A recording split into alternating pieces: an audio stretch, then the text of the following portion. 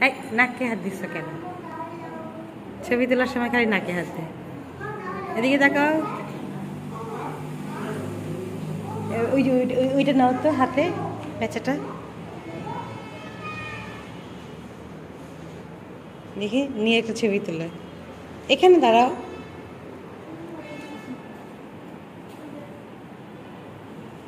এদিকে ঘুরো। বুঝো না কীভাবে ছবি তুলতে হবে? হ্যাঁ।